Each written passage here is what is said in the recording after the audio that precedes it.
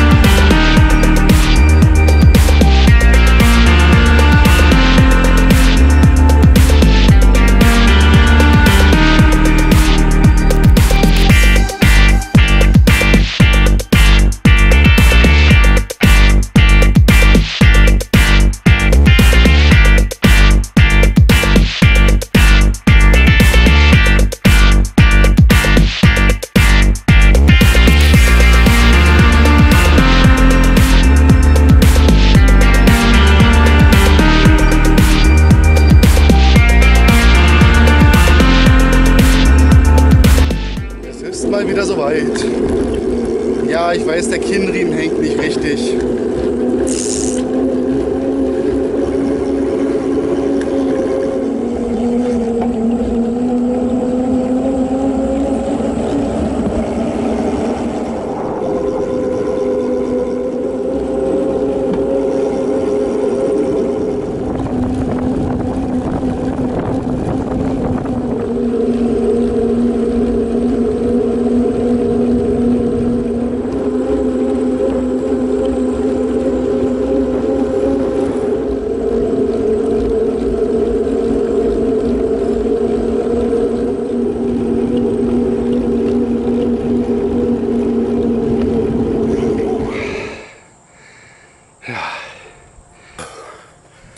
bin in Austintown, Ohio.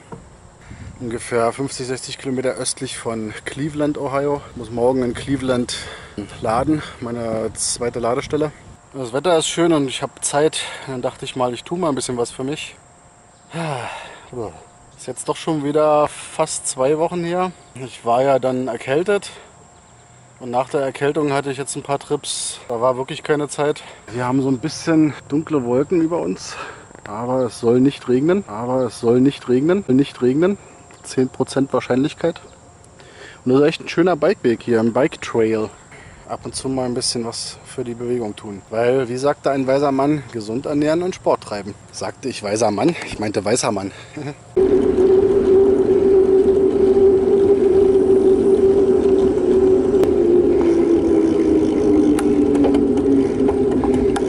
Prozent Wahrscheinlichkeit Arsch. Es regnet. Der Mirko wird nass. Na toll. 10 Prozent. Verdammter Mist. Aber es scheint doch die Sonne. Mann, Mann, Mann. Ja, ja. Ja, ja.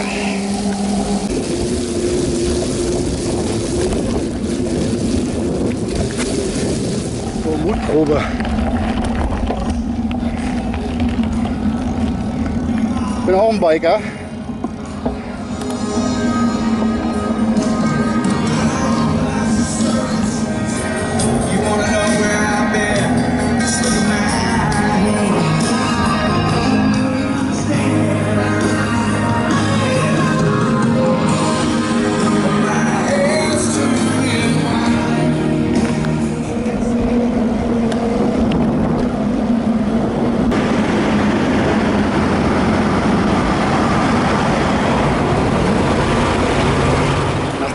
Mutprobe fühle ich mich wie die vier Jungs. Filmquiz. Wie die vier Jungs, die nach Madrid gefahren sind.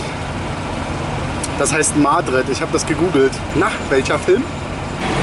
Dann mit diesem Sonnenuntergang mache ich dann Feierabend. Hier ist wieder so ein Spezialist, der seine Antennen so komisch hat. Was das immer bringen soll. Der funkt halt gerne mit dem Weltall. Oder mit Ameisen. Ja, ich habe ja gelernt jetzt inzwischen, erst abtrocknen, dann duschen gehen. Deswegen sitze ich hier noch und genieße die Ruhe und die Stille eines Truckstops. Ja, Fahrradfahren ist anstrengend, aber macht Spaß. Guten Morgen.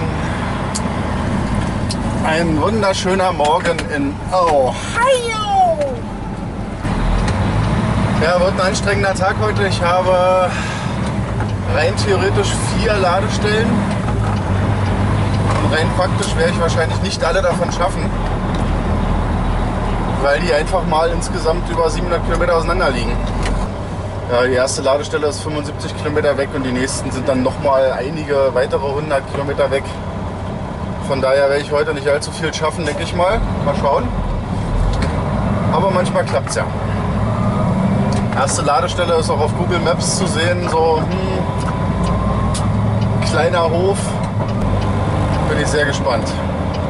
Sammeltouren ist ja immer so, dass äh, man die Kunden nicht unbedingt kennt. Wenn wir jetzt äh, unsere Touren Richtung USA machen, dann haben wir meistens schon feste Kunden, wo man öfter war und was man so kennt. Und wenn wir jetzt Sammeltouren zurück machen, dann ist das oftmals, dass das irgendwelche neuen Kunden sind, die bloß mal so zwei, drei Paletten haben, die nicht regelmäßig was verschicken und so. Und da kann es halt passieren, dass auch mal so ein Dock ein bisschen kleiner ist oder die das gar nicht gewohnt sind, so einen großen Truck zu kriegen. Die kriegen dann normalerweise kleinere. Und dann heißt es immer, ja, wir haben hier immer, immer Trucks drin, kannst ruhig kommen. Hier kommen ständig Trucks und dann sind das alles so eine, in Deutschland würde man sagen, so eine 7,5 Tonner.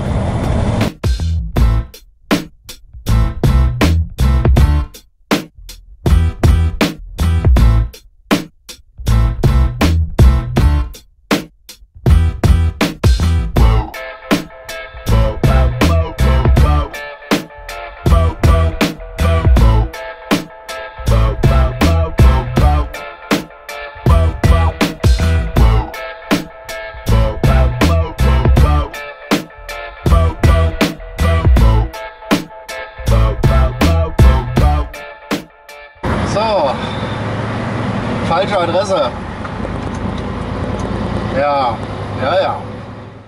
Klasse. Jetzt bin ich richtig. Hab gerade mich angemeldet, soll da links in das Dock rein und während ich die Türen aufmache, passiert was? Es kommt einer und stellt sich dahin. Finde ich das gut? Nee, finde ich nicht gut. Zumal ja nicht wirklich viel Platz zum Rangieren ist. Ich weiß noch gar nicht, wie ich das mache jetzt. Ach, Mann, immer wieder was Neues.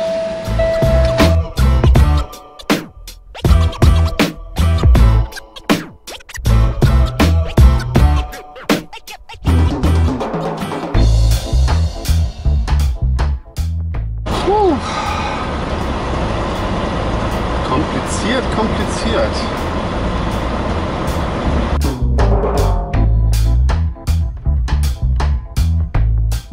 Vorwärts an dem Dock habe ich auch noch nicht gehabt. Irgendwas ist hier komisch.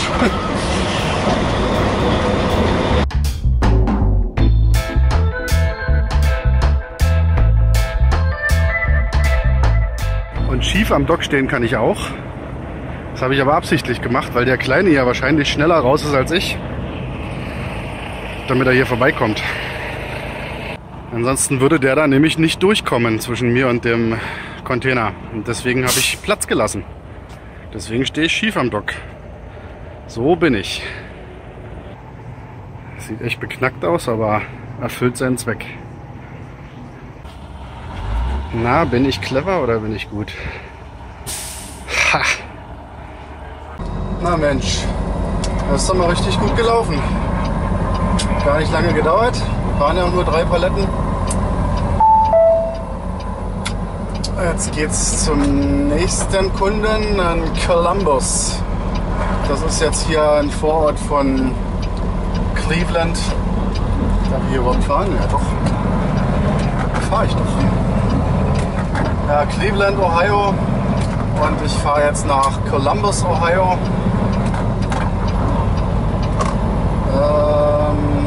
Ja, ist schon wieder richtig warm jetzt, 28 Grad, sehr, sehr luftfeucht. Gibt es das überhaupt als Adjektiv? Luftfeucht?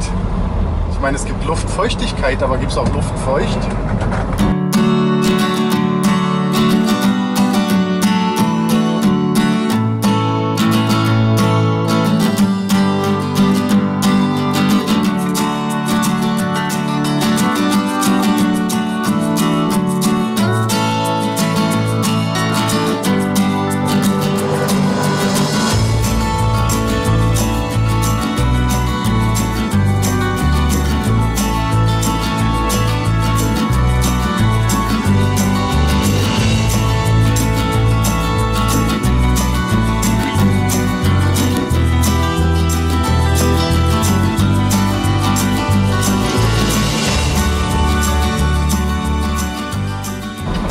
Sehr interessant. No turn on red except from right lane.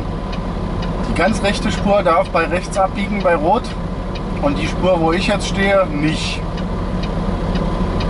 Ist ja auch nicht gerade nett. So, nächster Kunde. Scheint gerade Mittagspause zu sein. Da muss man sich dann immer das, das Shipping und Receiving Office finden. Und das ist hier links, da ist eine Tür. Da steht da dran. Drivers Entrance steht auch dran. Ja.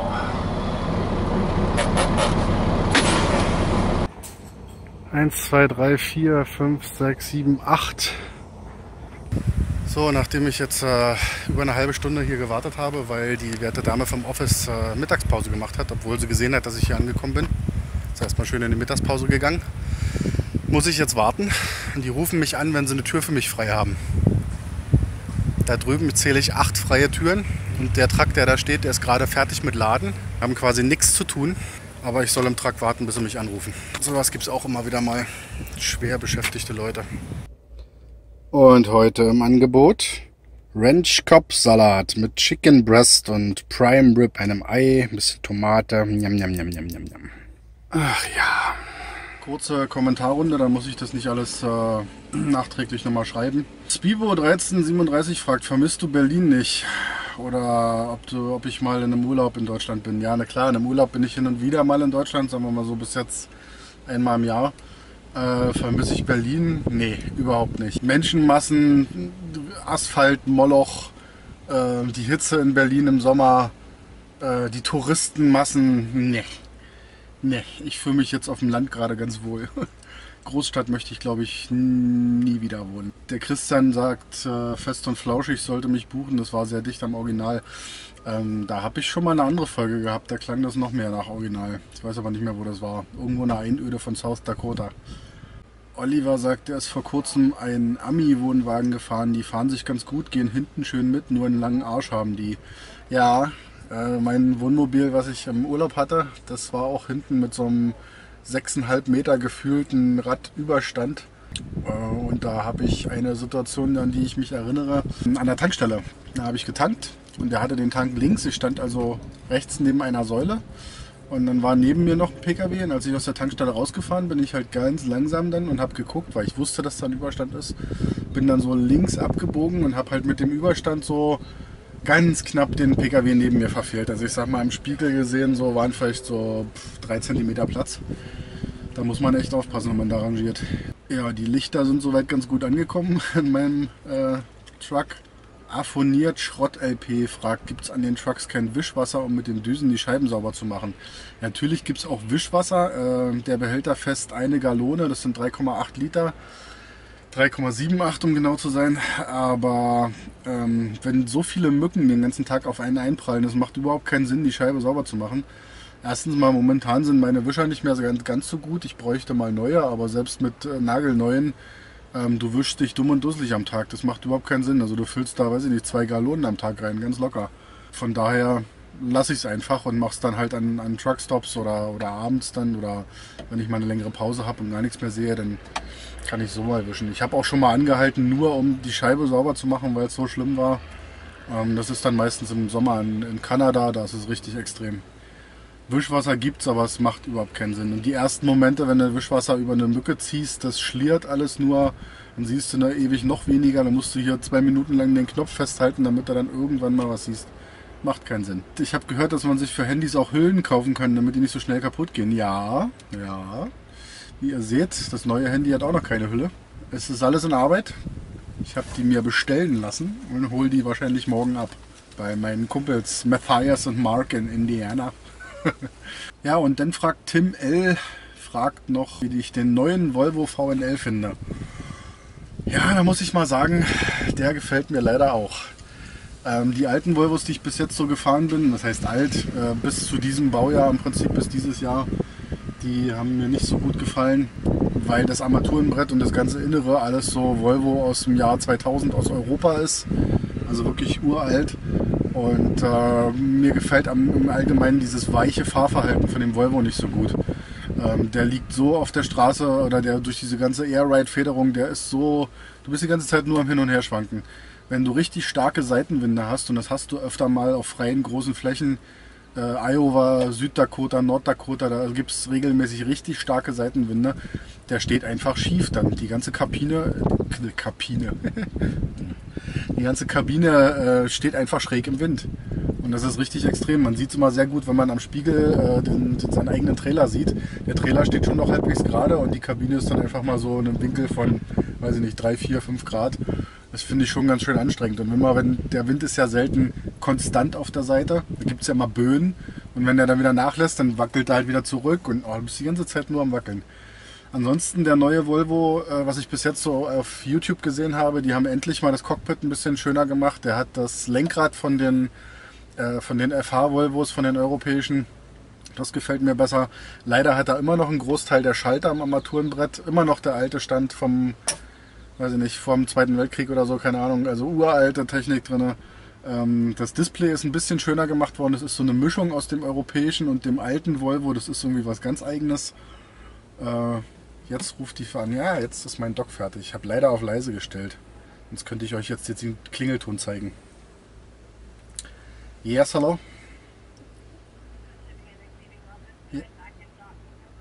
Door Nummer 4, thank you. Tür Nummer 4, dann wollen wir mal.